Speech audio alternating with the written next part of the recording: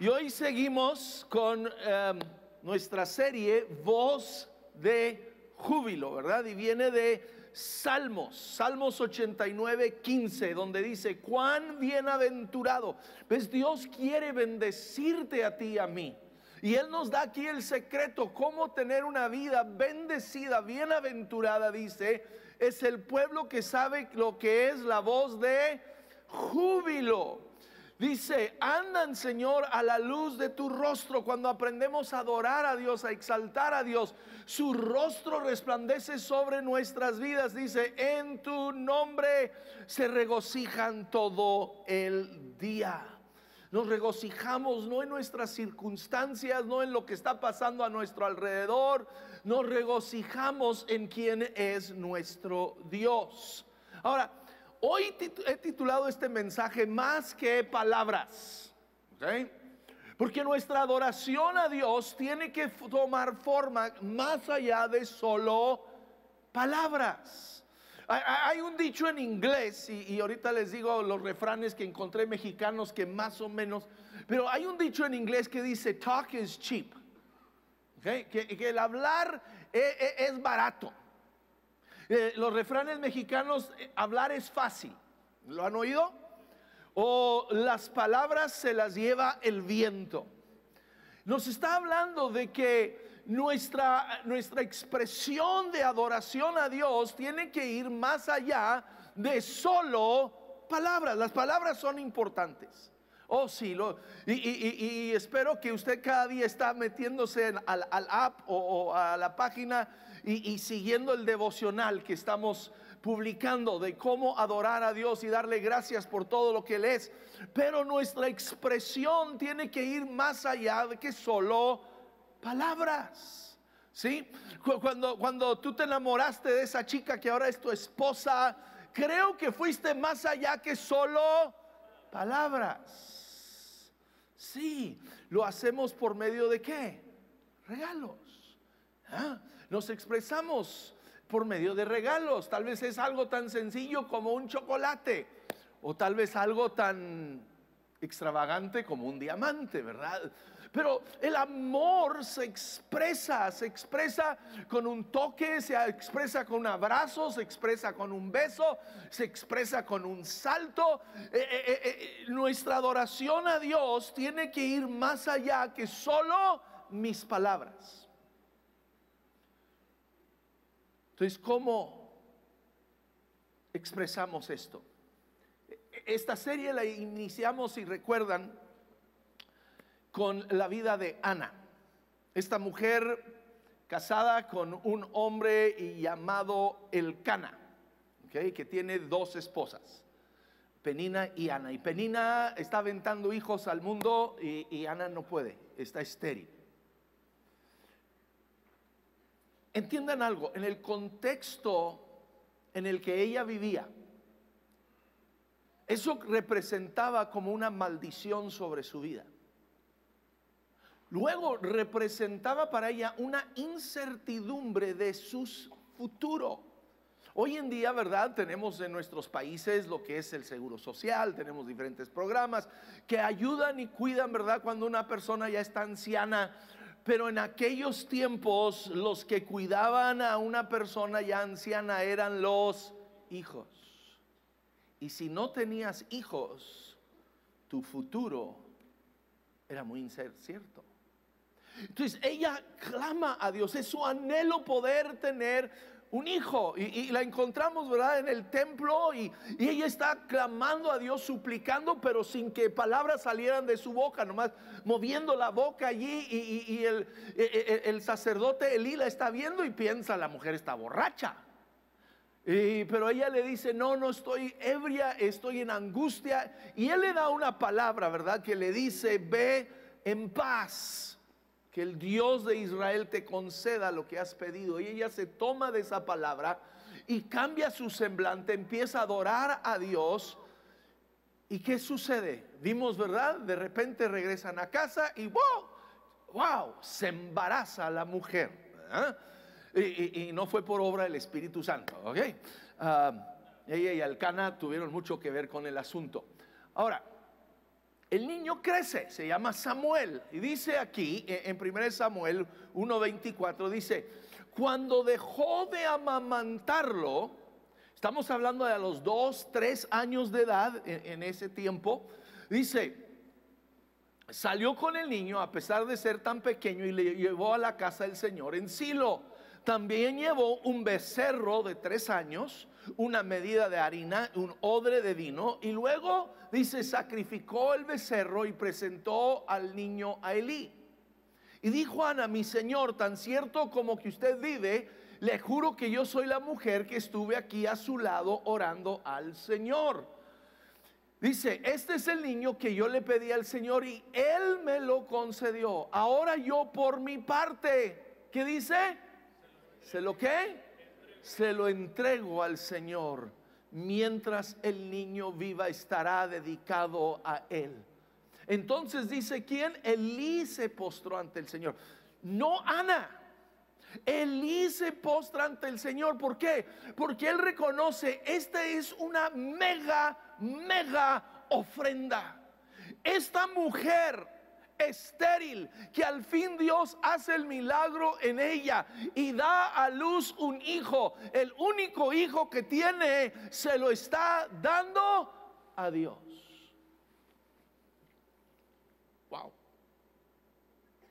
Wow. Oí de un cuate que andaba cazando venado. ¿Cuántos han ido a cazar venado? Eh, mi padre me llevó de niño a cazar venado todo el día subiendo y bajando montes y no vimos nada. Ni una liebre. Pero este hombre está igual, no ha visto nada y al fin le dice, Dios, mira, si me das dos venados, uno es para ti. Y de repente se le paran enfrente dos venados. Agarra el rifle y ¡pum! Y cae uno y el otro sale corriendo y le dice, Dios, se te está yendo el tuyo. ¿Y, cuántos de nosotros tenemos esa actitud con Dios? Pero Ana aquí, escúchame, le dice, Dios, este es el único hijo que tengo. He sido mujer estéril toda mi vida, tú haces este milagro, pero yo te lo entrego a ti, Dios.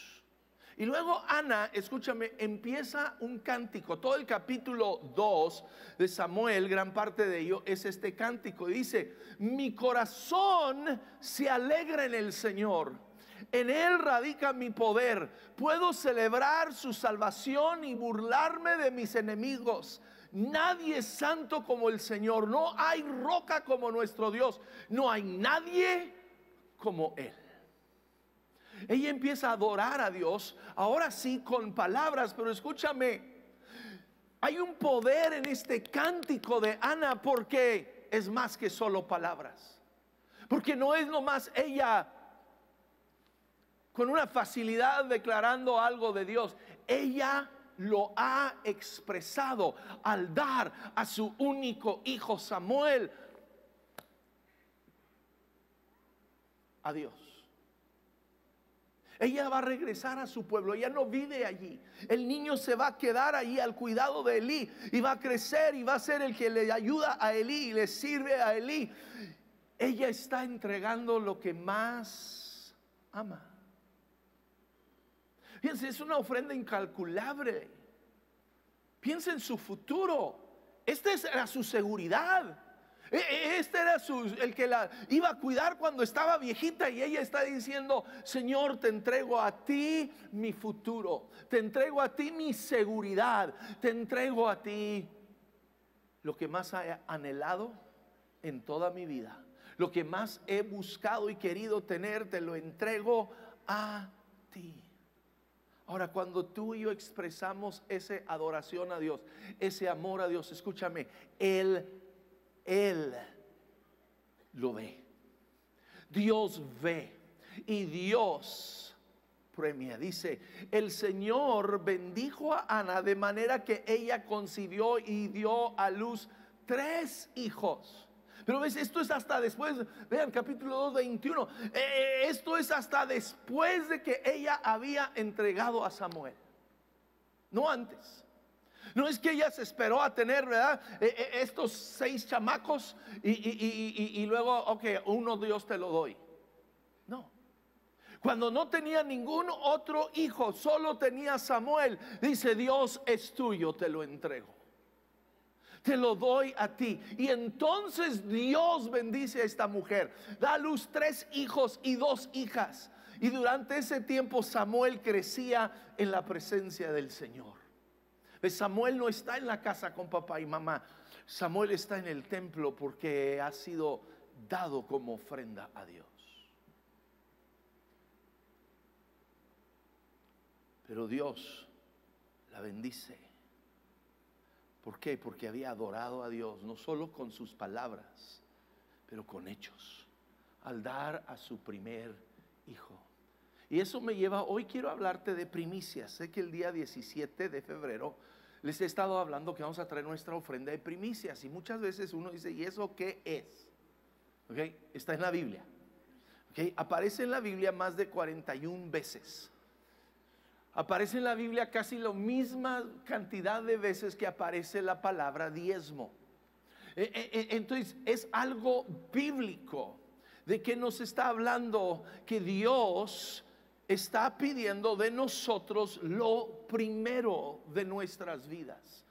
Pues Dios no se conforma con nuestras obras con darle a Él, ah, ah bueno, me sobró, ah, darle a Dios una limosna, eso no es adoración, es cuando yo le doy a Dios lo primero y lo mejor de mi vida es que yo honro a Dios.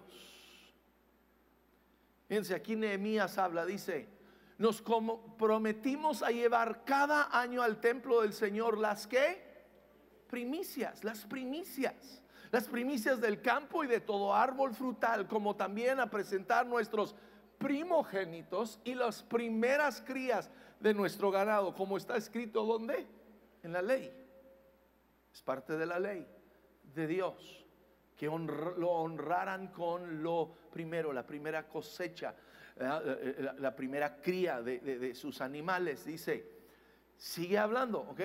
convinimos también en dar la décima parte o el diezmo. ¿Ves? La primicia y el diezmo son dos cosas diferentes. No es lo mismo. No es una cosa. Es las primicias y es el diezmo de nuestras cosechas a los levitas. Entonces Dios nos habla a ti a mí de dar primicias y diezmos. Y lo traemos a Dios para honrar a Dios. El, propósito de las primicias, el propósito de los diezmos es honrar a Dios. Ahora lo podemos ver en la vida de Caín y Abel, estos dos hijos de Adán y Eva, los primeros dos muchachos nacidos en este mundo. Nos dice la escritura, dice, aconteciendo que al transcurrir el tiempo, Caín trajo al Señor, que dice, una ofrenda trajo una ofrenda, que hay que leer con cuidado las palabras, del fruto de la tierra. También Abel por su parte trajo de qué? De los primogénitos. Ven la diferencia entre Caín y Abel. ¿Ves? Uno trae una ofrenda, trae de lo que le sobró, trae de lo que no necesita. El otro está trayendo que los primogénitos de sus ovejas y de la grosura de los mismos. Está trayendo lo más bueno, lo más gordo que él tiene de sus crías. Uno trae algo del montón, el otro está trayendo lo primero, lo mejor. Es importante ver la diferencia porque dice, y el Señor miró con agrado a Abel y su ofrenda. Pero a Caín y su ofrenda no miró con agrado. ¿Ves? Dios ve a Abel que le trae lo mejor, le trae lo primero y Dios se agrada. ¿Por qué? Porque eso honra a Dios. Eso honra a Dios. Pero el otro, pues nomás agarró ahí del montón y, ah, pues hay que darle algo a Dios, ahí está. Y Dios no se agradó con ello. Porque no era honra. Era nomás un cumplir religioso. Era un cumplir con que, pues, que la gente no diga nada. Que, eh, y Dios no está buscando eso. Dios está buscando que lo honremos. Ahora, Caín se enoja con Dios. Porque sabe que Dios no se agrada con su ofrenda y se enoja. Y Dios le dice, Caín, solo tienes que cambiar. Solo tienes que traer la ofrenda que yo estoy pidiendo. Pero Caín, en su coraje con Dios, en vez de querer cambiar, decide mejor matar a su hermano. Mucha gente al escuchar cuando hablamos de, dinero y recursos se enojan. ¿Por qué está el pastor nomás hablando de esto? Nomás me trajeron porque quieren mi dinero. No, no.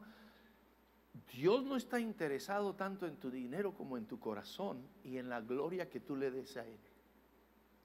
Eso es lo que le interesa a Dios, que tú a Él lo honres, que lo glorifiques, no solo con tus palabras, pero con tus hechos. Y si a ti te molesta es que tienes el espíritu de Caín en tu vida. Y el espíritu de Caín no solo nos lleva al asesinato, sino que termina también Dios trayendo una maldición sobre su vida. Tú y yo no queremos el espíritu de Caín en nuestra vida. Es Caín por el dinero, por no dar a Dios lo que él pedía, estaba dispuesto a matar a su propio hermano. Tú y yo, ¿qué haremos por el dinero? Antes de que me contestes, ¿cuántos no hacen negocios chuecos porque quieren el dinero? ¿Cuántos no hacen cosas ilegales aún porque quieren qué? El dinero. ¿Cuántos divorcios no existen? El pleito número uno, escúchame, no es la infidelidad, es el amor al dinero. Lo que, lo que las parejas más se pelean es por el dinero. Ahora, preparándome para esto, eh, eh, estaba viendo y Dios me reveló algo sobre Jericó.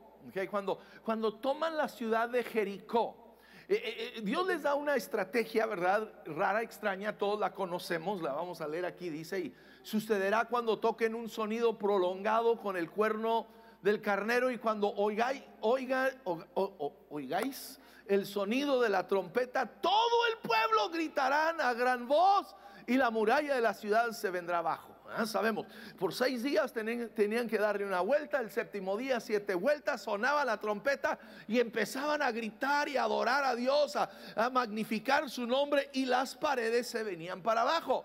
Ahora, siempre hemos hablado de eso y eso es importante de nuestra proclamación, nuestra voz de júbilo, pero no termina allí, porque antes de que esos muros cayeran, antes de que atacaran, dice, Dios le dice, y toda la plata y el oro, los utensilios de bronce, de hierro, están consagradas al Señor, entrarán en el tesoro del Señor. Ok, recuerden, Jericó es la ciudad que van a atacar, la primera ciudad en la tierra prometida, es la primera ciudad. Eh, eh, eh, en, en Josué 12, menciona 31 diferentes ciudades que conquistan, pero Jericó es la primera.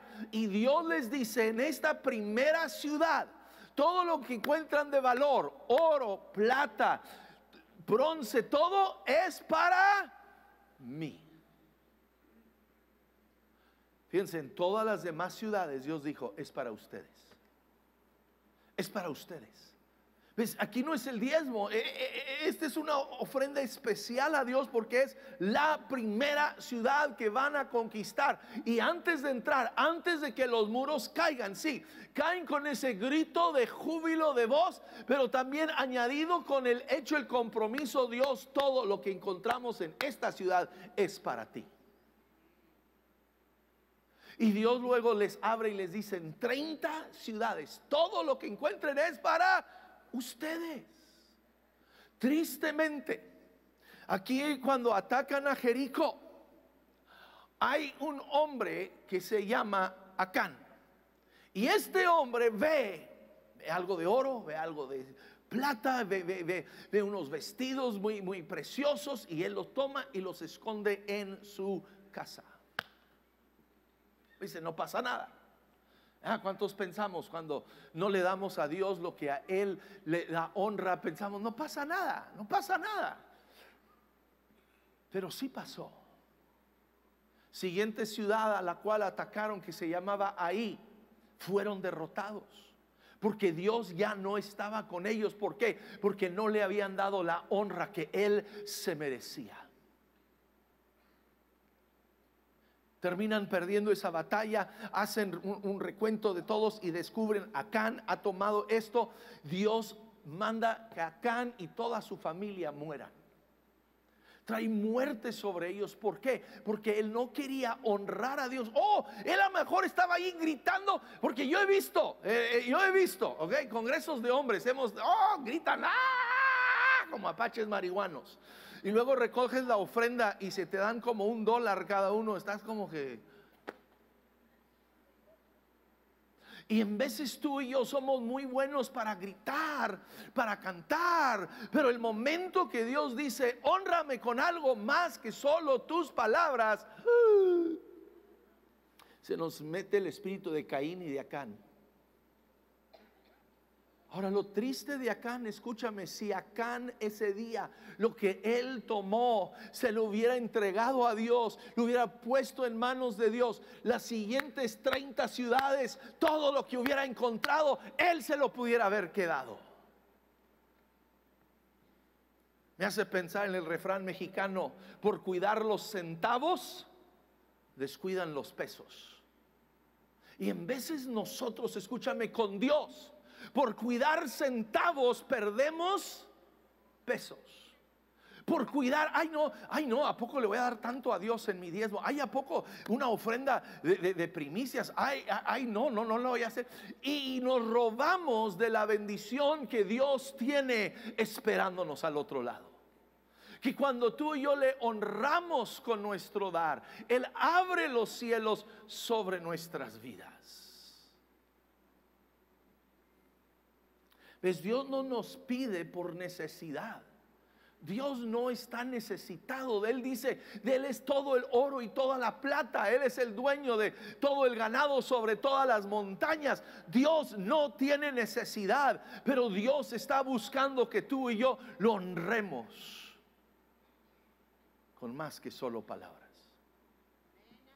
Que lo honremos con nuestra vida. E, es un acto de fe, lo vemos en la vida de Elías y la viuda de Sarepta. Dios lo envía con esta viuda y tristemente no era una viuda judía, no era de Israel. La manda con esta viuda. Y llega con la viuda hay una sequía, no hay nada que comer, ella solo tiene un poquito de harina y poquito de aceite, va a hacer un pan para ella y su hijo y se van a morir, literalmente se van a morir de hambre. Y en esa condición, el gran hombre de Dios, el profeta de Dios le dice, hazme de comer a mí primero. ¿Lo oyeron? ¿Se imaginan que hubiera sido yo? Lo que ustedes estarían diciendo en Facebook el día de mañana. El pastor fue a la casa de la viuda. No le dio una ofrenda, no. Le, dio una despensa, no. ¿Qué hizo el pastor? Se comió su último taco. El pastor se la dejó sin nada. Pero porque ella venció su temor, escúchame, eso es lo que más nos detiene a ti y a mí de la bendición de Dios en nuestras vidas, es un espíritu de temor. Ella venció su temor, le hizo de comer primero eh, al profeta y el profeta come y luego ella regresa a, la cocina y descubre, hay más aceite, hay más harina. Y dice que su aceite y su harina cada día se, se multiplicaba hasta que terminó la sequía. Por años comieron porque esa mujer aprendió, pongo a Dios primero y Dios cuidará de mí.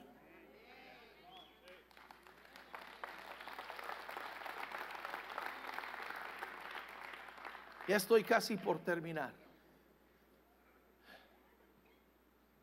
espíritu de Caín y Abel, el espíritu de Judas y María. María, aquí la hermana de Lázaro. Lázaro que ha muerto y Jesús va y, y, le llama y sale de la tumba. Y entonces Jesús dice, seis días antes de la Pascua, es Juan capítulo 12, eh, eh, llegó Jesús a Betania donde vivía Lázaro, a quien Jesús había resucitado, y allí se dio una cena en honor de Jesús. Marta servía a Lázaro, y Lázaro era uno de los que estaban en la mesa. Y dice, María tomó entonces como medio litro de nardo puro, que era un perfume muy caro. La, la mayoría de los que hablan de esto, hablan de que aproximadamente este perfume valía el sueldo de un año entero de un soldado romano. Un año entero de sueldo y ella qué hace? Y lo derramó sobre los pies de Jesús. Dice, y la casa, la casa se llenó, se llenó de la fragancia del perfume. Tú y yo queremos que nuestra casa se llene de la fragancia de nuestra honra a Dios en nuestra generosidad. Que se llene la casa, tu casa, mi casa, de un aroma que Dios eres honrado aquí. Lo mejor es para ti. Lo, lo, primero es para ti. Esta mujer, María, toma esto y lo derrama sobre Jesús. No sabemos si era su dote para su matrimonio. No sabemos si era una herencia de su padre. No sabemos qué era, pero era algo de gran, gran valor. Lo más valioso que ella tiene y lo toma y lo derrama en un instante sobre Jesús. Ahora, Judas está allí con los otros discípulos. Y Judas tiene una objeción que muchas veces la gente el día de hoy tiene. Judas dice, ¿por qué se no se vendió este perfume que vale muchísimo dinero? Él sabía cuánto valía. ¿ah? Dice, para dárselo a los pobres. Ay, qué noble, Judas. Qué noble, ¿verdad? Se preocupa por los pobres. Escúchame. Muchas veces nosotros somos más generosos con un proyecto. Ah, vamos a dar para ayudar a los niños pobres de tal lugar o vamos a ayudar, ¿verdad?, a, rescatar mujeres, ¿verdad?, de, la esclavitud sexual en tal lugar, o vamos a dar un proyecto para esto, y para proyectos abrimos la cartera y damos, pero escúchame,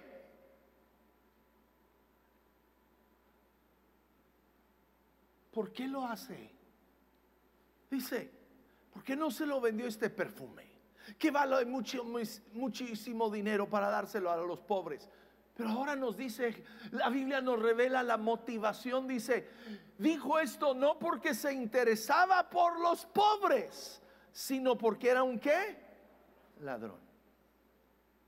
¿Era un qué?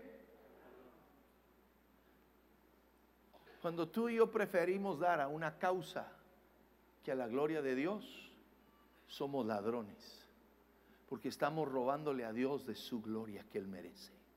¿Ves? Cuando yo doy a un proyecto, cuando yo doy a una causa, cuando yo doy para ayudar a los niños huérfanos en algún lugar, lo hago para yo sentirme bien. Se trata de mí. Se trata de que yo me sienta bien, que yo me sienta, wow, mira lo que he hecho. Mi ego, mi ego se alimenta, ¿verdad?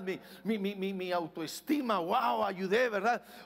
yo veo comerciales en la tele, ¿verdad? Están recabando fondos hasta para animales, ¿verdad? Para perros y gatos que los maltratan. Y ahí, pobrecitos. Y les preocupa más un perro que un bebé en el vientre de su madre. Esa misma gente que te pide dinero para salvar un perro, dan dinero para los abortos. Pero, bueno, perdón, perdón, gente que no tiene nada que ver.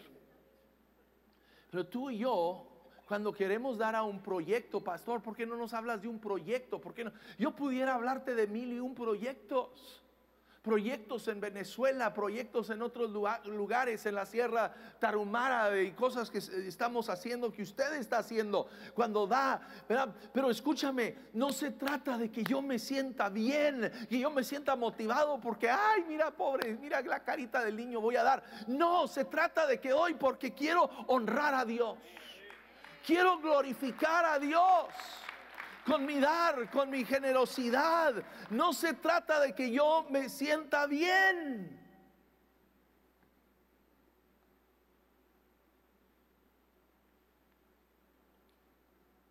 Judas era un ladrón. Robaba de la bolsa. Ahora escúchenme, escúchenme. Jesús sabía que era un ladrón. Y Jesús le dijo, Judas, toma, tú cuida la bolsa del dinero. Sabes que Dios te va a dar dinero. Dios te va a dar dinero para ver qué haces con él. Dios te va a bendecir y luego Dios se va a cruzar de brazos a ver qué va a hacer con lo que le he dado. ¿Vamos a ser fieles? ¿Vamos a honrar a Dios? ¿O vamos a robarle a Él de su gloria? Ahora, el dinero no es malo. El dinero no es malo, Dios quiere que tengas dinero. Vemos a Dios prosperar al rey David, al rey Salomón, vemos a, Dios prosperar a sus hijos, a, Abraham, a, Job. Vemos hombres y mujeres de Dios en la Biblia que fueron sumamente prósperos, ricos. E, el dinero no es el problema, el problema es cuando tú y yo amamos al dinero en vez de amar a Dios. Amamos el dinero en vez de amar a nuestra familia.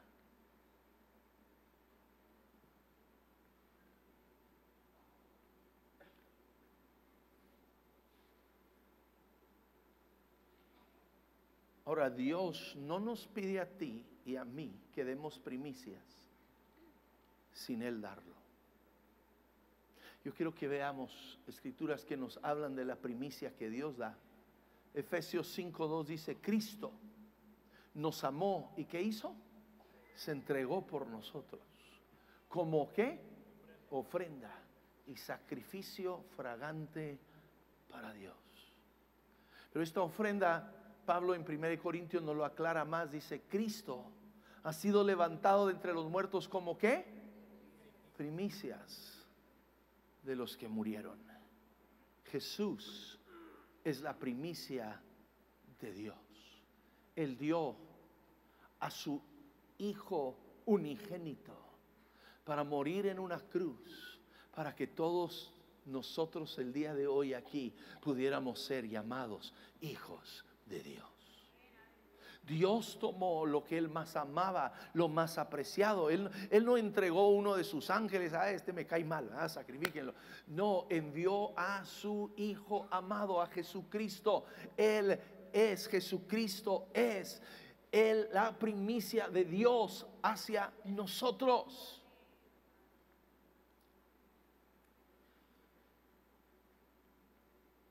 Ahora quiero que veas el poder de la primicia y vamos rápido porque el tiempo se me va a acabar. La palabra primicia en el hebreo es bikurim, okay? bikurim, B-I-K-K-U-R-I-M, bikurim, y significa promesa venidera promesa venidera. Y ese es el propósito de la ofrenda de primicias. Los israelitas traían las primicias de su cosecha. Eh, eh, el, primer costal, ¿verdad? De, frijol o de maíz o de eh, que, que habían cosechado lo traían al Señor, lo entregaban a Él y lo veían como una inversión en su futuro. Lo primero Dios te lo doy a ti, creyendo que tú vas a entonces bendecir lo que viene por delante. Es una promesa de Dios. Deja, dice Proverbios 3, 9 y 10, honra al Señor con tus, ¿qué? Riquezas. Está hablando de tus finanzas, dice ¿Y con qué? Los primeros frutos, las primicias de tus cosechas. Así, ¿qué dice Dios? Tus graneros se llenarán a reventar y tus bodegas rebosarán de vino nuevo. Aquí hay una promesa que Dios está dando. Dice, si tú y yo honramos a Dios con esta ofrenda de primicias, ponemos a Dios primero, lo honramos en nuestras finanzas. Dios dice, uno, te voy a bendecir económicamente. Voy a bendecir tu economía, voy a bendecir en tu trabajo, en tus negocios. Y luego dice, rebosarán de vino nuevo. Está hablando de dos cosas aquí. Uno, el vino, ¿verdad? Lo toma uno para alegrar el corazón. Habla la Biblia de ello. Entonces habla de un beneficio en, nuestra, nuestras emociones, en nuestra alegría. Y luego el vino nuevo nos habla de qué? Del derramamiento del Espíritu Santo. Nos habla de que Dios, cuando tú y yo ponemos a Dios primero y lo honramos con las primicias, trae bendición económica a nuestra vida, pero también trae bendición espiritual a nuestra vida abre las puertas. Y termino con esto. Y en cada campus, si quieren ir subiendo, por favor, los de la alabanza, dice, recibirán lo mejor de todas las que primicias y de todas las ofrendas que ustedes presenten. Así que dice Dios, cuando tú y yo lo honramos a Dios, honramos a Dios, dice así, mi bendición reposará sobre los hogares de ustedes. Hay una bendición sobre nuestras casas. Hay una bendición sobre tu hogar, sobre tus matrimonios, sobre tus hijos, sobre tu vida al poner a Dios primero.